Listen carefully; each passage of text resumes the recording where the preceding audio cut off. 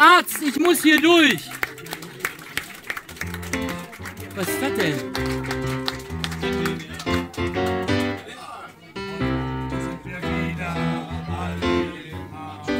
Und wir sind uns sicher, wir kriegen wieder Spaß. Die Bühne ist jetzt unser, ist Donner jetzt gefrust. Denn ist ein Fanclub, habt ihr das gewusst?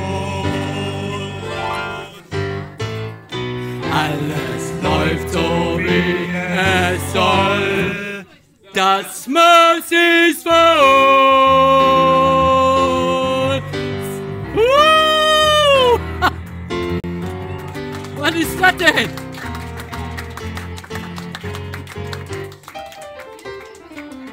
Ja, Männers, äh, ja, herzlichen äh, guten Abend und das ist ja herrlich, fantastisch. Und das ist jetzt hier der neue Fanclub von Das Maß ist voll. Und du bist der Vorsitzende oder was? Jawohl. Ich sehe, der Bürgermeister ist auch da. Ich glaube, der Bürgermeister hat noch keinen Fanclub, ne? Also, dann, also der kann auch kommen, höre ich gerade.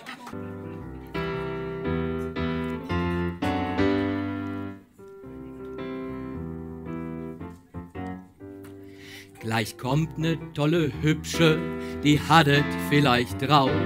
Da gehen bei uns allen die Augen ganz groß auf.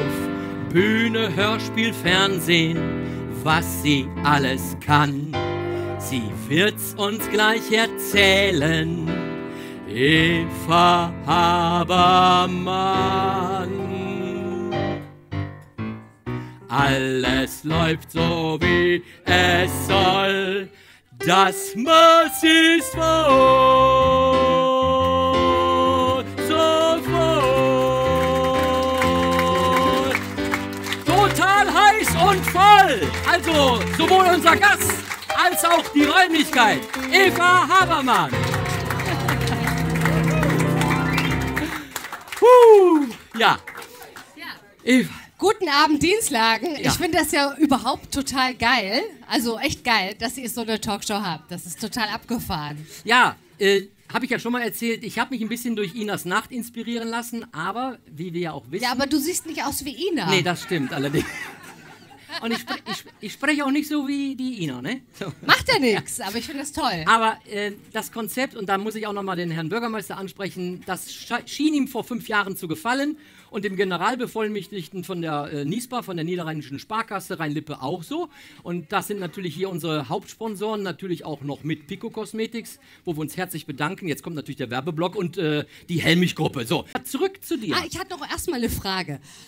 Warum ist dein Fanclub nur aus männlichen äh, Mitgliedern? Äh, also ich, äh, das wollte ich nur mal kurz fragen, weil ich dachte mir schon, äh, hallo, wo sind die Frauen aus Dienstlagen? Eva weiß ich nicht, warum. Achso, Gott. Nein. Ah, ah, entsch- Entschuldigt Nee, nee, das Nein. ist. Äh, ähm, Nochmal, du hast angefangen mit ganz jungen Jahren, ich glaube acht oder neun, da, warst schon, da warst du schon bühnenaffin.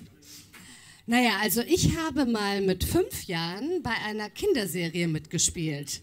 Dass es immer tatsächlich über Zeitungsanzeigen ging. Also Augen auf für Zeitungsanzeigen. Casting erstmal. Ja, genau. Ja, wir suchen Casting. Wir junge- suchen den und Ja, den ja. und so. Und ich finde das toll, weil da hat jeder eine Chance.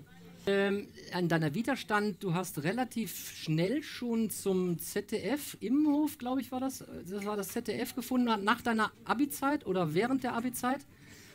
Also ich habe mit 17 äh, eine Rolle bekommen, die hatte meine Schwester mir rausgesucht im Hamburger Abendblatt, hatte mir das hingelegt, meinte, Eva, bewerb dich da, weil da musste jemand reiten können und irgendwie spielen können.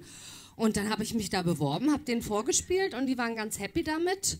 Und ich habe dann danach mit 18 mein Abitur gemacht und war dann eben, habe dann irgendwie angefangen, hauptberuflich zu spielen. Das war alles über Castings. Es Ja. war immer, wo man sich vorstellen muss und dann, wo man dann halt irgendwie überzeugt hat. Ähm, war denn dann schon bei dir der Einblick, dass du sagtest, ähm, ich glaube, das wird auch wirklich meine berufliche Laufbahn oder gab es noch so Alternativausbildungen? Ich- Naja, es ist so. Also Das mein Papa hatte immer die Einstellung, der sagte halt zu mir, ach, die ist eh so hübsch, die wird dann irgendwann heiraten und wird eh nicht irgendwie arbeiten. Und da hat er sich aber geirrt. Ja. Ich bin immer noch nicht verheiratet, also okay. Meine Mutter fand es immer relativ cool irgendwie. Aber sie fand es auch nur dann cool, wenn die Nachbarn nicht ankamen, weil es ist wirklich so, ohne Scheiß.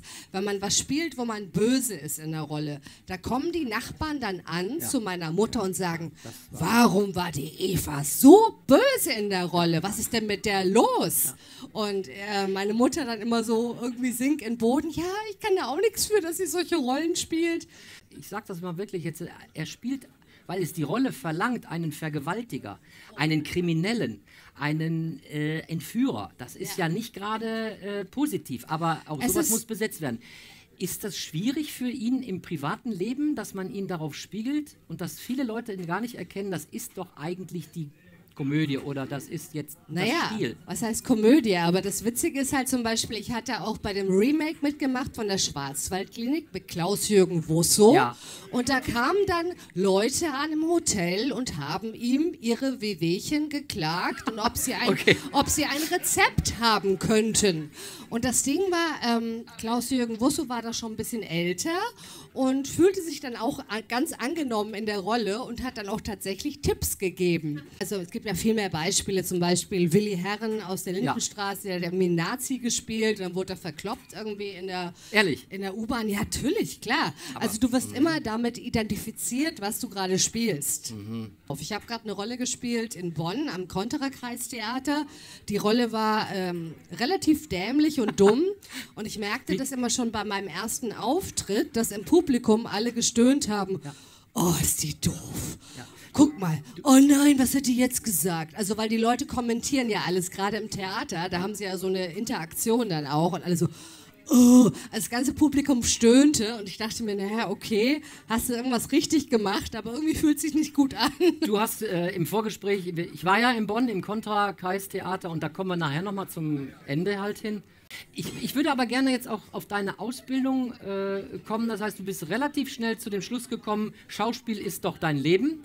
Und äh, du hast dann äh, Rollenstudium steht in deiner Vita. Ja, ist das, das was anderes als Schauspielschule?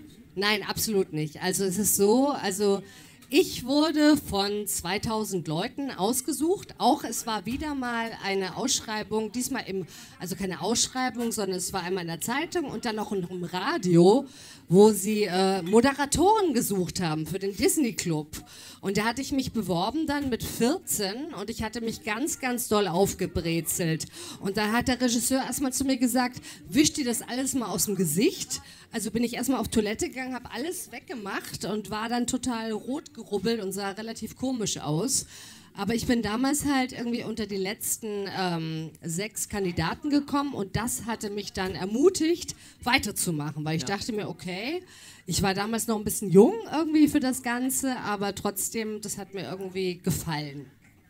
Schauspiel, Sprechunterricht? Gesangsunterricht. Das genau. hast du auch Entschuldigung. Noch mal gemacht. Nein, aber ich war da halt 14 und danach habe ich dann eben angefangen, weil mich das ermutigt hat, habe ich dann eben Sprechunterricht genommen und äh, also halt äh, Schauspielunterricht und Gesangsunterricht, um mich möglichst gut darauf vorzubereiten.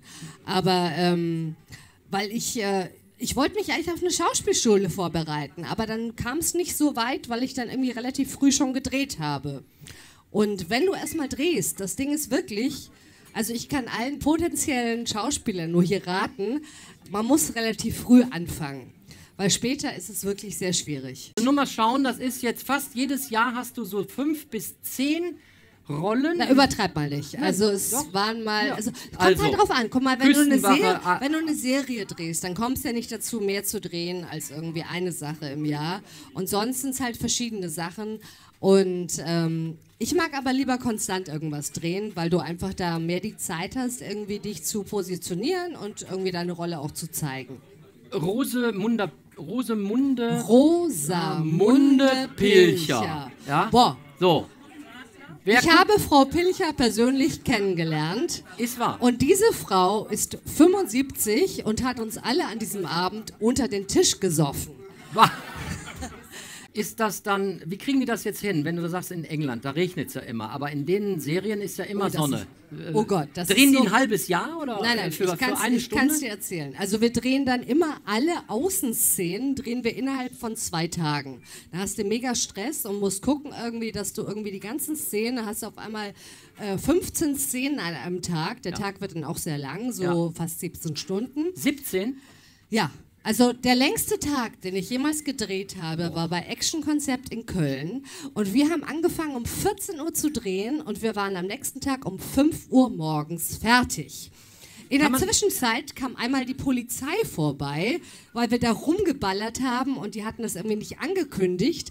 Und ähm, also auf jeden Fall war es so, dass wir halt da gedreht haben und ich hatte dann nach 17 Stunden meine erste Nahaufnahme von dem Tag. Also wo man dann so richtig rangeht. Ja, ja. Und der Produzent hat nachher gesagt, wie sieht die denn aus? War ich War, so, ja, ja. und das kam halt nicht so gut an. Dann. Kann man sich denn nach so viel ähm, Stunden mal warten, nochmal, wie ist das mit dem Text? Irgendwann ist doch auch, glaube ich, der Geist runtergefahren, oder? Der Text, das geht immer noch. Gerade beim Fernsehen ist ja immer nicht ganz so viel. Ja. Aber das war nicht das Problem. Das Problem war eher das Aussehen, dass ich Ja. irgendwie, ich weiß nicht, wie alt war ich da? Das war vor, vor äh, 14 Jahren. Und da ist es halt dann schon so gewesen, dass ich dann sehr alt aussah. Dann am nächsten Tag. Wie haben, Sie, wie haben dich denn deine Eltern äh, da begleitet? Waren die eher ähm, ängstlich vor, äh, du bist jung, du nimmst in diese, gehst in diese künstlerische Schiene? Äh, haben die es unterstützt oder haben die eher gewarnt davor? Also, wie gesagt, also mein Papa war es eher egal, weil er dachte eh, ich heirate. bald, ja? Ich habe dann auch schon mal geheiratet, nämlich mit 21, meinen Tennislehrer.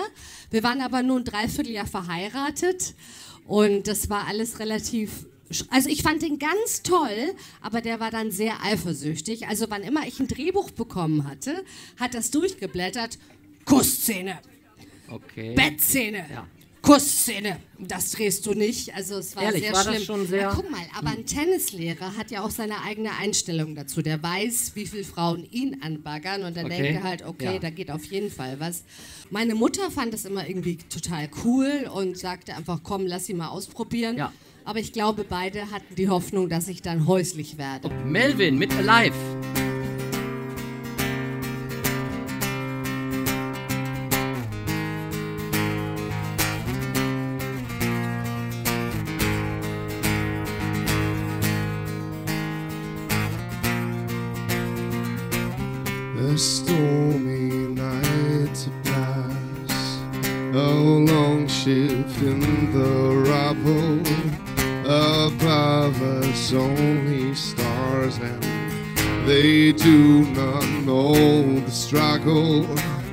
This war, it knows no end. We do not comprehend that it will last forever. Why do we still pretend? The time that's in our hand won't be our last and ever. We are the ones to blame. We are the ones who suffer. We will not be the same. We'll be our new world's mother.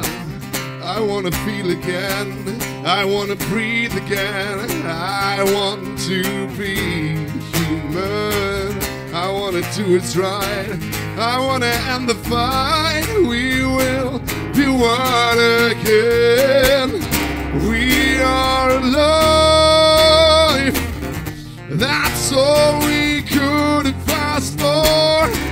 We don't end our strife, what is there left to die for?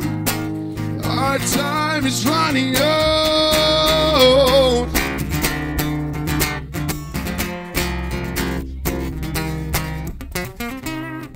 There's nothing left to fear, no reason to be worried if our near. Why aren't our dreams all buried? We need to feel within, we need to breathe again. We will be our own heroes. We need to change within to rebuild everything. We change the path we follow. We are alive.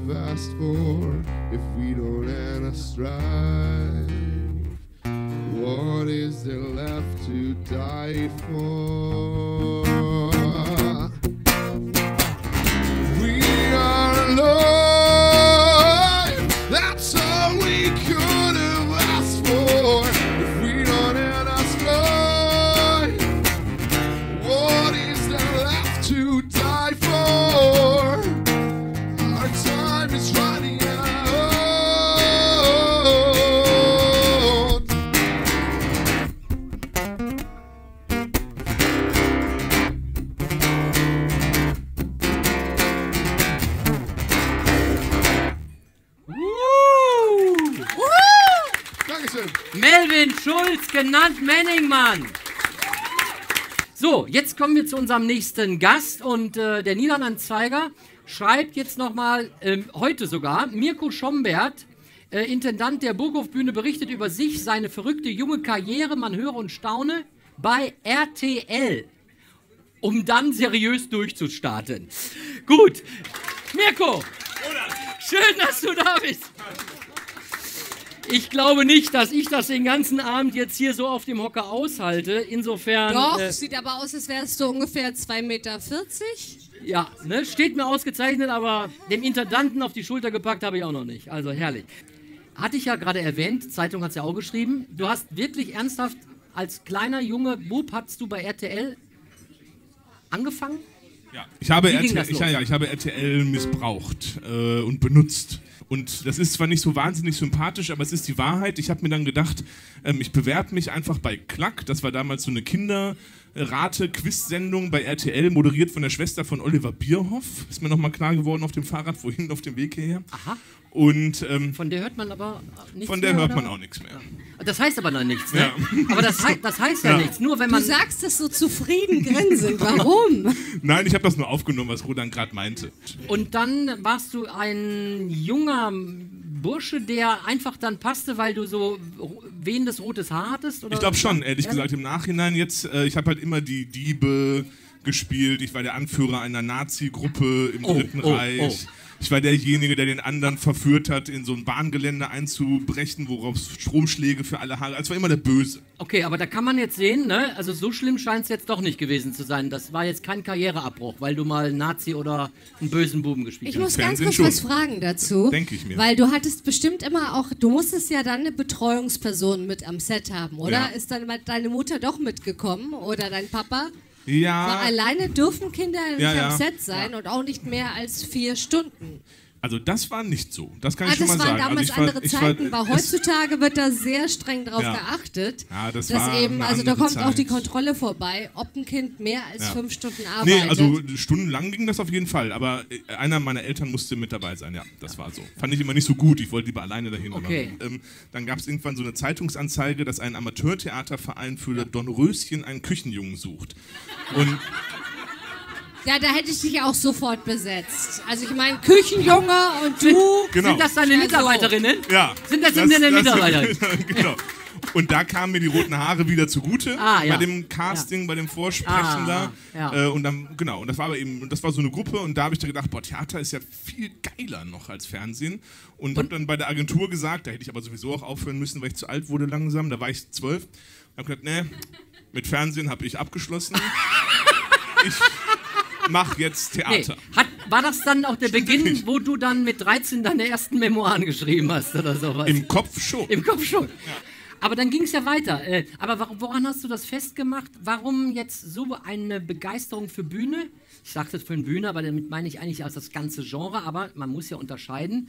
Bei der Bühne bist du, auch das hast du ja auch gemacht in Bonn, bist du sofort, äh, du bist sofort gespiegelt. Einmal versprochen, einmal Faden verloren, ist, bist du raus. Ja?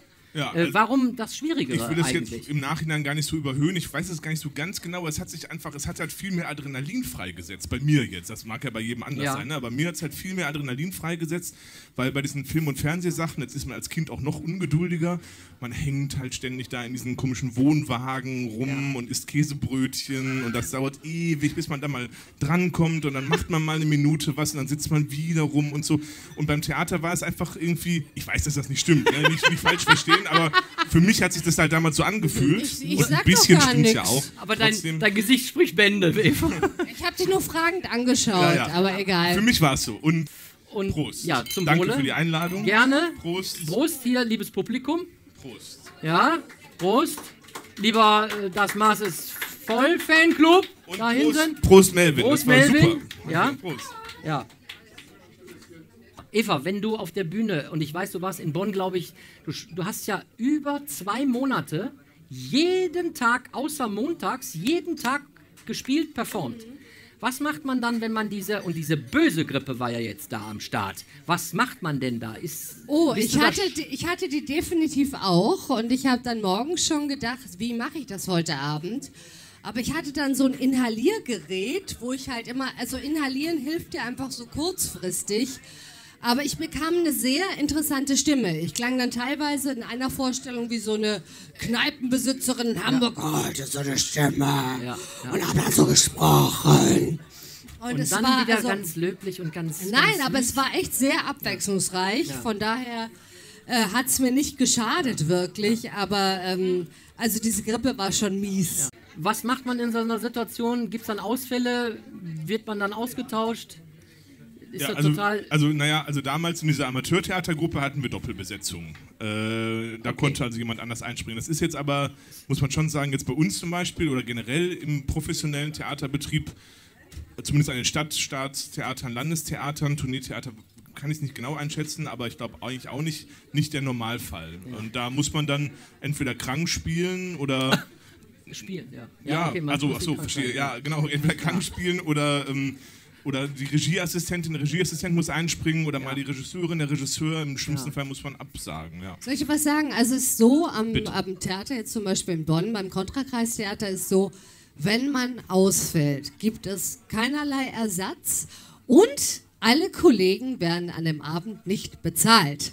Und das Also ist der stehst du Unterschied zwischen Also privaten von- Theatern naja, und aber trotzdem, du stehst dann ein bisschen unter Leistungsdruck, Ja, ja, weil wenn die du sind- ausfällst, Ja. sind alle anderen ein bisschen Ja. angepisst. Oh, Kollek Kollektivstrafe, ne? Ja, ja, ja. Aber das ist ganz interessant, dass du sagst, das würde ich jetzt nicht als Thema gene- generell aufmachen, aber das ist natürlich wirklich ernsthaft der Unterschied. Ja. Äh, das wäre bei uns nicht der Fall. Also Ja. wenn bei uns eine Vorstellung äh, bis zum gewissen Zeitraum vorher abgesagt wird, dann gibt es trotzdem Bezahlung auch für die Ja, aber meistens weißt du erst morgens, wie es dir geht und dann sagt man halt, ich kann heute echt nicht. Also ich, Mirko, äh, da kommen wir auch zu so, so einer skurrilen Stimme. Du hast äh, mir im Vorgespräch, ja, skurrile Stimme ist jetzt schlechte Brücke, aber äh, die Entwicklung eines Jugendlichen ist ja nicht immer normal. Also, dass der, die Eltern hätten immer gerne, ja, ein so ein gewisses Klischee, äh, gute Noten, ist lieb, geht ins, zeitig ins Bett.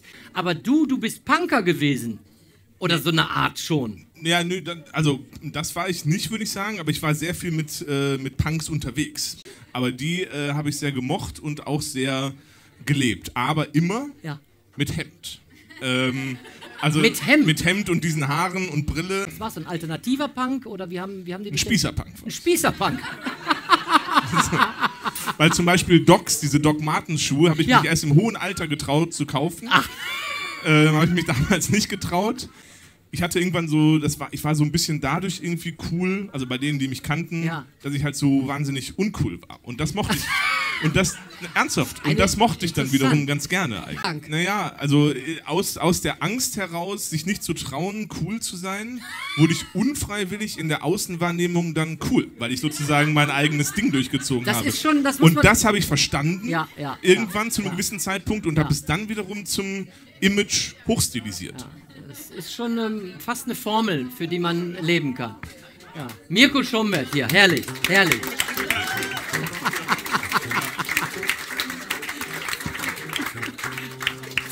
Ja, der Niederrhein-Anzeiger, der schreibt jetzt, und dann erwartet das, das Maß ist voll Publikum einen Youngster. Vincent Sierp, ein wirkliches, ein wirkliches Talent aus Dienstlaken. Er zog von Dienstlaken in die große Welt, um als Schauspieler in Berlin eine Ausbildung zu beginnen. Wir bleiben bei den Künstlern, die auf der Bühne stehen. Jetzt sehen wir schon den zweiten, bei dem die Haare wehen. Ein Youngster unverdorben, dazu auch noch sehr lieb. Es ist kein Apotheker, es ist der Vincent.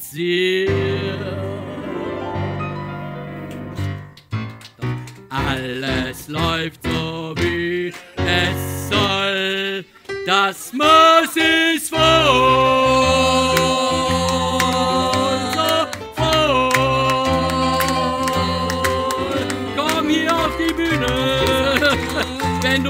Lieber Sir Vincent.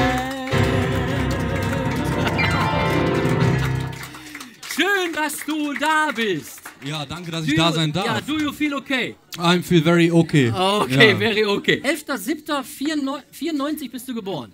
Ganz genau, ich bin aus der Winterdepression meiner Eltern entstanden. Das ist die junge Dame hier Jetzt- vorne und der ältere Herr dort hinten. Jetzt guckt die Mutter den Vater an und weiß jetzt wirklich nicht, soll sie nicken oder soll sie mit den Schultern zucken. Aber äh, deinen Eltern und wahrscheinlich sogar dir selber, ne, kurz nach der Geburt, war schon klar, aus dir wird entweder ein Politiker oder ein Schauspieler. Ja, Warum ich- kamen die Eltern auf so eine Aussage? Weil ich immer sehr vorlaut war und eigentlich, äh, ja, wie kann man das sagen, ähm, sehr ungezogen und immer meine Meinung gesagt hat. Und sie meinte, entweder wirst du Schauspieler oder Politiker. Und dann habe ich mich für Schauspieler entschieden, weil die brauchen nicht lügen. Ah, da kam auch da muss der Bürgermeister jetzt wieder, der Bürgermeister muss jetzt wieder in das Vorsicht. Gras beißen. Ne? Vorsicht, dünnes Eis. Dünnes Eis in Dienstlaken. Deswegen wohne ich auch in Berlin und nicht in Dienstlaken, da kann ich sowas sagen. Ich muss da ganz kurz nachhaken. Was ist, war denn dein gemeinster Streich oder womit hast du jemanden total bloßgestellt? In der Ernst Barlach Gesamtschule hatten wir draußen Spinde und ich war damals ein großer Cappy-Liebhaber. Oh. Und ich hatte, glaube ich, fünf Cappies im Spind und äh, die Lehrerin hat mich jedes Mal rausgeschickt, meine Kappe abzuziehen. Ja. Und ich kam, ich glaube, fünfmal oder sechsmal mit einer neuen Kappe rein. Und du, du hast das ja befolgt, was sie Ich habe sagte. das genau gemacht. Zieh die Kappe nein, ab. zieh diese Kappe ab, Ja, wurde ja, gesagt. ja. Und ich habe das Ja. mit zu Nutzen gemacht und eine andere ich aufgezogen. total ja. gut. Finde ich auch. Er weiß schon, dass Also- du ein Depot Also von dumm ist der Junge nicht. Dumm ist der Junge nicht. Ne? Dumm ist der Junge nicht. Ja? Das erste, ich war als erstes auf einer BWL-Schule. Das war das, äh, wie nennt man das? Die, das Berufskolleg in Dienstlaken. Da war ich ein halbes Jahr und habe nach dem halben Jahr fast mit meinem Kopf diese Tastatur kaputt gemacht, weil ich einfach nicht richtig zurecht damit kam. Ja. Und dann habe ich mich gefragt, was ist das Einzige, was ich wirklich im Leben gelernt habe? Und das war Theater, schon damals an der Ernst-Barlach-Gesamtschule bei Jochen Gerberding. Und äh, dann habe ich tatsächlich im Internet gegoogelt, Schauspielschule. Als erstes kam die Schauspielschule Charlottenburg. Ist das der Chef oder ist das der Leiter, der Vater von der bekannten Schauspielerin äh, Alexandra Maria Lara? Äh, Das ist Valentin Flatteriano. Valentin Platte. Valentin Platte. Aber Valentin ist ein Herz von Seele. ist eine Herz von. Seele, ein Rumäne, sehr gut in Geschäfte, diese sehr gut. Diese. Das ist auch schon wieder so eine Performance, ne? Das ist der Schauspieler. Kannst Nein, du also- sehr gut äh, interpretieren. Ja, weil ich einfach jahrelang bei Valentin gewesen bin und das war sehr einfach und sehr geschickt, da irgendwann zu probieren, diese da Ja. gut Aber hinzukriegen. so darfst du mit ihm nicht reden. Er fühlt sich dann wahrscheinlich veräppelt, oder? Ach, der findet das super. Der, ist, der ist ein, ein Herz Erzähl mal so ein bisschen. Äh, Ähm, das ist eine rumänische Familie, der kam aus Rumänien und war da irgendwie Intendant am Budapester Staatstheater irgendwann. ähm, ist dann nach Berlin du auch, gekommen, ne? ausgewandert auf der Lara Flucht du, ne? und hat dann ähm, in einem Theater den Boden gewischt. Der war Intendant und ist dann nach Deutschland gekommen, dem Boden gewischt Ja. und hat sich das dann nachher alles selber erarbeitet und äh, hat dann seine eigene Schauspielschule gegründet. Seit rund 25 Jahren. Seit 25 Jahren. ja. Und hat sich etabliert, wie man. Hat äh, sich etabliert. Ist eine private Schauspielschule. Ja. ja. Das heißt, man muss äh, Geld dafür zahlen, dass man dorthin gehen darf. Danke, Mama, danke, Danke, Papa. danke ja. Mama, Denke, danke ja. Papa. Also, Kann man ja auch mal sagen. ja, ne? ja. Das hat mir auf jeden Fall sehr viel geholfen, dass meine Eltern mich da unterstützt haben. Ja. Ja, ja. Immer 20% hier, 20% Agentur, da bleibt ja nachher nichts mehr übrig nach 40% Steuern. Ja, ne? ja, das ist so. So, und abgeschlossen hast du deine Ausbildung äh, 2016, so richtig mit Zertifikat und. Mit dem äh, Diplom. Mit dem Di- am Diplom. Mit deinem Diplom, dann hast du da einen dicken Stempel drauf Okay, und dann da- hast du, du bist Schauspieler. Das war jetzt die Frage so ein bisschen an Mirko. Wie geht man denn damit um, wenn man dann doch vielleicht manchmal erkennt, du gibst so viel Herzblut da rein, du machst, äh, vielleicht hast du gar nicht so ein Beispiel, aber ich könnte mir vorstellen, dass man manchmal sagt, warum mache ich das eigentlich? Hast du so ein Gefühl schon mal gehabt? Und wenn ja, wie gehst du damit um? Wie motivierst du dich? Oder bist du eigentlich damit bis jetzt super zufrieden? Nee, also ich, im, im Verlauf der gesamten Jahre, Ja. weil ich habe jetzt vorhin auch gehört, 17 Tage ist zwar ein krasser Tag, äh, absolut. 17 Stunden, Stunden Ja, war 17 das, Stunden ja. ist ein Ja. krasser Tag, Genau. aber das gibt es natürlich, weißt du das eh, gibt es ja im Theater ganz oft, dass man dann irgendwie auch diese, diese, von mir aus auch 17 Stunden irgendwie knackt und das dann für eben gar nicht so ein großes Gehalt. Jetzt natürlich schon, aber äh, da, da, Michael, alles, alles, alles sehr gut. Damals habe ich ja für den Hungerlohn Ja, ja, ja, gearbeitet. Ja. Also, ähm, Moderationen, du machst Reiseberichte, das liegt dir super am Herzen und du kommst durch die ganze Welt. Das heißt am Herzen, das macht mir einfach nur Das Spaß. macht dir Spaß, äh. Weil ich finde es einfach super. Es ist einfach so ähnlich. Also wenn ich, also ich mache auch relativ oft für NTV so Reisereportagen, wo ich halt sage, das ist mein Aruba oder das ist mein Jordanien. Da komme ich halt irgendwie hin und der Redakteur sagt, schau dich ein bisschen um, was interessiert dich? Es kommt nachher eh, also ich spreche nachher einen Off-Text drüber und die ganzen Infos und dann mag ich gern einfach nur den Leuten vermitteln, so wie als wäre es meine Mama, der ich kurz erzähle, komm mal, ich bin hier und das und das passiert hier und das ist voll spannend und das ist ungewöhnlich. Und deswegen, ich mag so gern moderieren, weil ich einfach super neugierig bin und den Leuten gerne mitteile, was ich gerade erlebe. Und ich versuche das auch immer wirklich so, also was heißt, ich versuche das, mir macht es einfach Spaß und deswegen erzähle ich den Leuten einfach nur, was sich lohnt hier anzuschauen und ich bin dann auch immer Feuer und Flamme. So, Schön.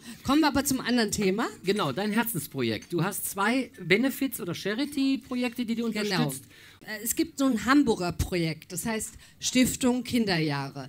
Weil ich finde es immer irgendwie schön, wenn man irgendwie Leuten hilft oder Kindern hilft, das wirklich unmittelbar hier in unserer Nähe ist. Weil man kann sich das gar nicht vorstellen, aber das ist wirklich, also jedes fünfte Kind in Hamburg hat teilweise eben also was heißt teilweise? Die haben keine Schuhe im Winter zum Anziehen.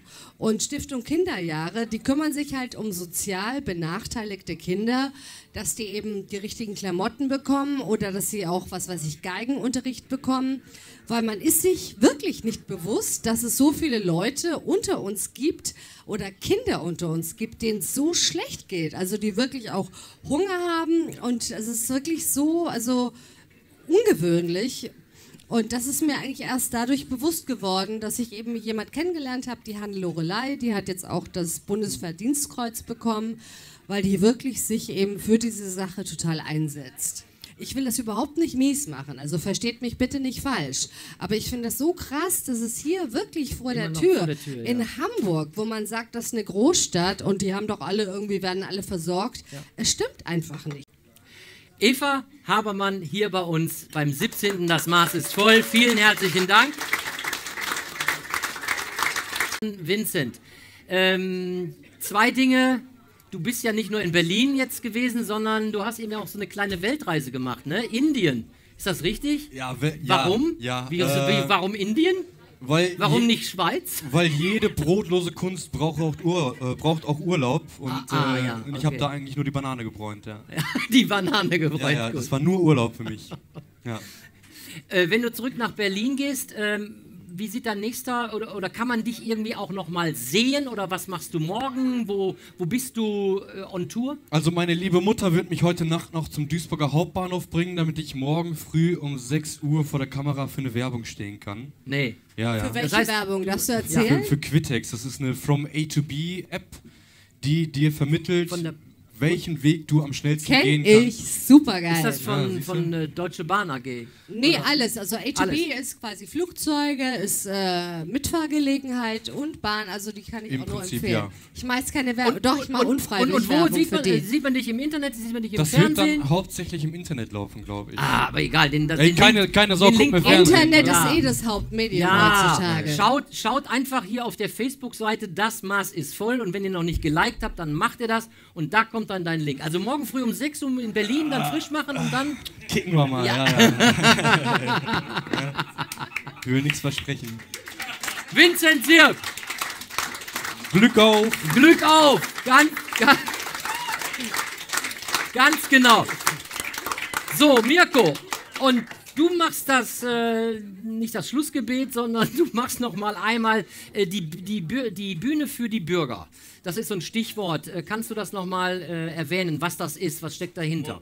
Okay, das mache ich ganz schnell. Wir haben hier, als wir 2014, also wir jetzt vor allem, die jetzt neu dazugekommen sind, nach der Intendanz von Thorsten Weckerlin, eine Bürgerbühne gegründet mit vier Spielclubs, dort einen Jugendclub, einen Kinderclub, ein Club 55 plus für alle, die das entsprechende Alter namensgebende Alter haben und einen interkulturellen Mehrgenerationen-Club. Wer also immer hier Theater spielen möchte, kann sich an Anna Scherer wenden. Auf der Homepage steht alles und kommt. Da reden wir gleich nochmal drüber. Und ähm, was mir aber besonders wichtig ist, äh, das nutze ich jetzt mal kurz als mein Werbeblock. Ja, ja. Premieren und so kommen hier ja noch und nöcher, aber wenn weil ich das so schön finde, dass hier auch so viele Leute sind, am 22. Juni feiern wir unseren Care aus. Juli oder Juno? Juno. Juno, also 6. 22, 6. Ja? feiern wir unseren Care aus. Stimmt das? 22. Ja. Ähm, wir, haben, wir haben vorher die Premiere unseres Kinderstücks Pettersen und Findus. Alle herzlich eingeladen. Und danach, ab 18 Uhr, sind sie alle bei uns auf den Tenterhof eingeladen. Wir grillen, wir trinken Bier, wir quatschen, wir hören Musik. Es gibt Musik, es gibt Programm. Alles für Omme. Alles das Bier und das Grillen nicht. Okay, aber alles das andere für einfach Omme. da- Für Ist einen sehr günstigen für Preis. Omme. Kommen Sie einfach vorbei und dann holen wir einfach alles nach, was wir jetzt nicht geschafft haben. Dankeschön. Mirko Schomberg. So, und dann können wir gleich im Applausmodus bleiben. Ein ganz großes Dankeschön an meine Gäste. Mirko Schomberg.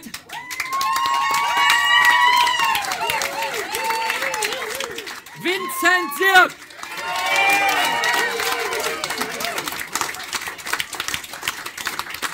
Und die bezaubernde Eva Habermann.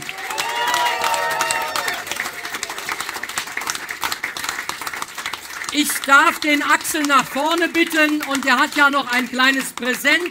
Und bis der Axel nach vorne äh, gekommen ist, darf ich noch sagen, das nächste Maß ist voll. Das 18. ist mit Olaf Thon. Also wer Fußball liebt und wer Schalke akzeptiert, der ist herzlich willkommen. Maren Hufe, eine Triathletin hier aus unserer Ecke. Und äh, bei den Dientalent bin ich noch am Baggern, aber da wird es auch was ganz Interessantes geben. Herzlichen Dank, ihr lieben Zuhörer, Zuschauer. Ich freue mich und ich übergebe ganz kurz an äh, Axel. Ja, ihr Lieben. Ja, wir haben hier noch eine kleine Erinnerung an euch, also hier an diese schöne, kultige Kneipe. Da gibt es eine richtige Münze, damit ihr euch ein bisschen daran erinnert. Denn Blumen, die verwelken. Und die Münze, die zeigt so ein bisschen aus, dieses Haus hier auf der Rückseite Stadtwappen von Dienstlaken und so ein bisschen die Geschichte von der Kneipe, wo ihr heute seid. Vielleicht kommt da mal irgendwann mal, wenn ihr ein Bierchen trinkt, kommt da einfach mal hier hin. Und äh, ich freue mich, dass ihr da seid. Hat, ganz, hat mir ganz toll gefallen.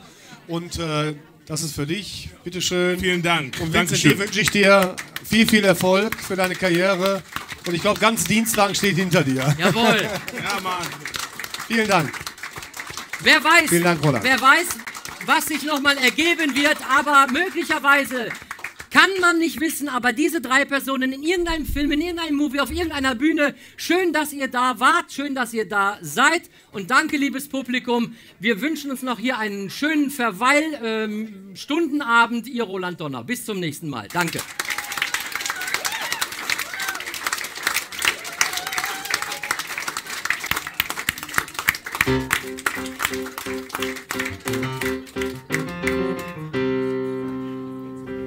Es sagte sie nach der Tür, nach der Tür, das sagte er, das sagte er, so sah ich zu, dass ihn niemand stören konnte.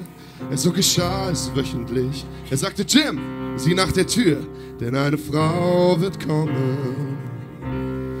Ja, eine Frau wird kommen. Und so geschah es wöchentlich und eine Frau fragte nach ihm.